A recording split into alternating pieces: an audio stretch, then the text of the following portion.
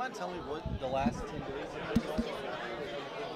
Swift moving. You know, it was. It, it has been. Uh, you know, since contact was made and conversations back and forth. And you know, in the meantime, you're always exploring things. I was at the Senior Bowl last week, so I got a chance to see some stuff. Uh, I had a mixed championship Sunday because I had Nick Foles and Blake Bortles, and I, I talked to both of them, and I wanted them to be in the Super Bowl. And Tom Brady ruined it for me, and you know, but Tom Brady's ruined that dream for a lot of people. You know, so but I had, uh, you know, both of those guys. So it's been a lot of mixed emotions, a lot of riding, you know, a lot of stuff going on up and down. So it's been good. But to culminate in this, awesome. Having NFL experience, I mean, how, much, I don't know if you want to call it street credit, does it give you whenever you walk into locker rooms, particularly at the college level or high school level, pro level, whatever it is? Yeah, I don't, I'm, you know, I think you, uh, you coach people, you teach people, you develop relationships and it's not any different coaching at the NFL level as far as developing relationships with your players. Uh, college football is a uh, you got to develop relationships with those guys. Those players got to trust that what you're going to do for them is challenge them to become better players and better people every day. And uh, the NFL guys don't. That, that doesn't. Their process is the same thing. Can you help me get better? Can you help me stay on this team? Can you help us win? All the the same questions that they have are the same things college guys have, same things high school kids have, and you know it's. Uh, I don't know if there's any credit if you're good and you, and you believe and trust in people and uh, people believe and trust in you, then it, it works out. It's going to be fine. But I, I, I don't, uh, you, you can't sit back and say, well, I coached here, so therefore I am. And it's, uh, it's an ongoing process. And it, it, 35 years of being in this profession has helped prepare me for this. Coach, how challenging is it to take over just eight days before signing. Though. Is that it's not. That's what I, that's why I thank Greg Stevens. I think they've done an excellent job, not only with the team here, academically getting them enrolled in classes, getting them going in the new semester, uh, but the recruiting process. We had a meeting this morning for a couple hours and talked about recruiting and talked about uh, all those things, and it was what they've done and how he's done it and, and led the rest of the staff has really been I think he's done an admirable job. It, it really good. The meeting this morning was outstanding. So I hit the road tonight. I'm going to visit some kids tonight. I'm flying out of town tomorrow morning. Uh, I'll be back tomorrow night. Got some more to see on Thursday and Friday, and we got some kids coming in this weekend. So got a full slate ahead of us, but I mean, it's just what happens this time of the year. You got to like the idea that this isn't a rebuild program, right? Everything yeah, this is not a rebuild program. Look, these guys have been winning. They got good players here. Uh, they've been they've been competitive. Uh, Coach Roberts and staff, like I said before, they have done a good job here. Uh, he, he, he, opted to go somewhere else that opened up uh, an opportunity for me here. So I'm not coming in here saying, well, I'm going to wait till I get certain guys in here. No, these guys here are good enough to win, and that's what we plan on doing. What's it going to take to get Southeastern over the hump and back to that national level of prominence? It's, it's uh, when I get in here, I'll have a better idea. When I got an opportunity to evaluate all the things that we need. I know that when the president and the athletic director have the same vision, and the vision is let's get to a level of national prominence, that's a good thing.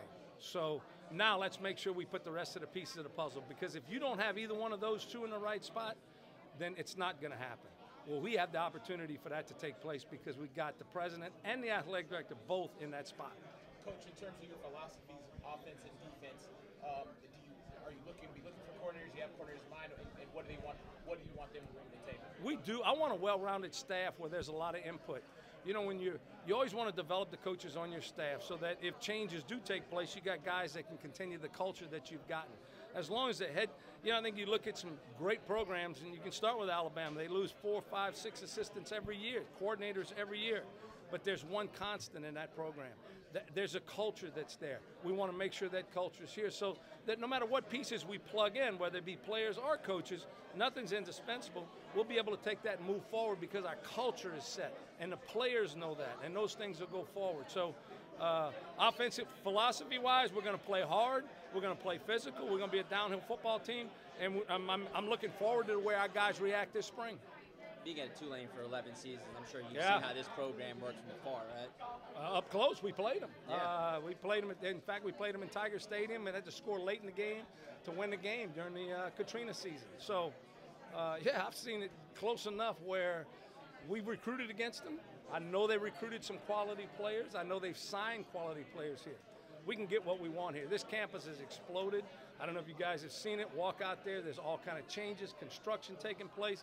It's really a neat time to be a part of this organization. You've coached guys like JP, uh, Sean.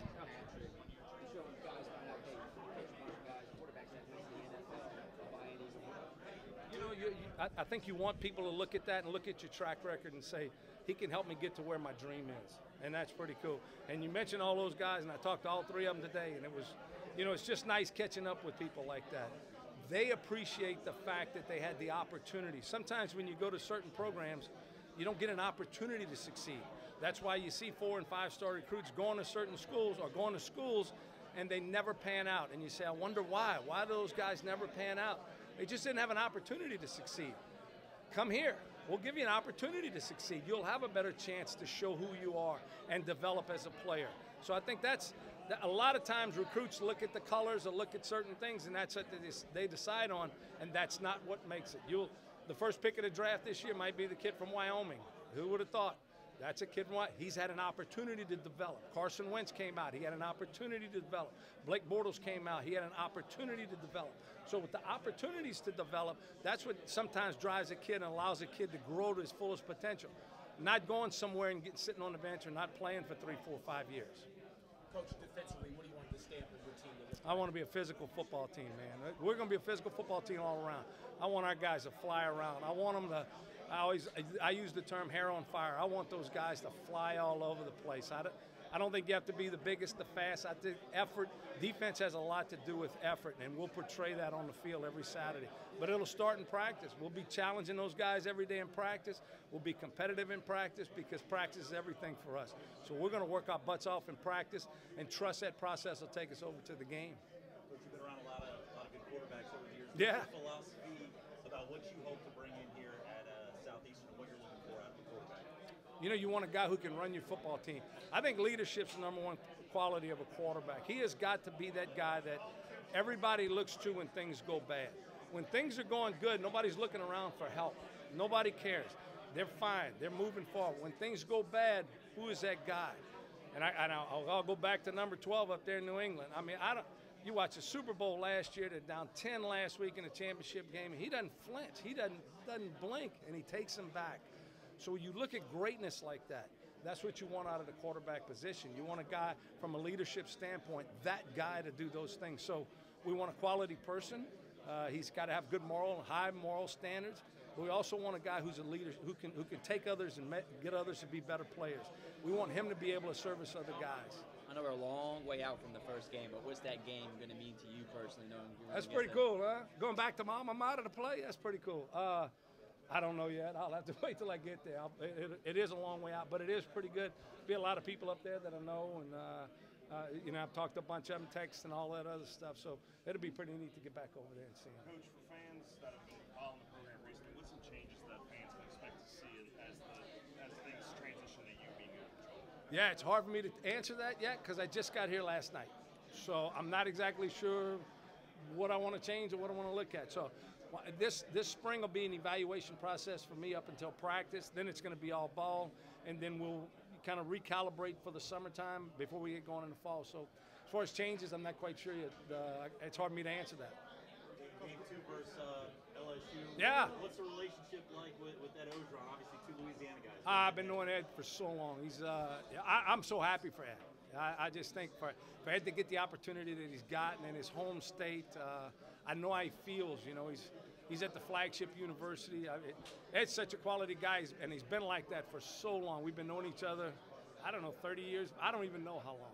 But I think for for him, you know, I wish him all the success in the world. We I just just that one week, I just don't want him to have so much success. That's it. But you know, it's it's it'll be great. It'll be good to see him, shake hands with him, tell him hi, laugh a little bit, and uh, maybe talk a little broken English together.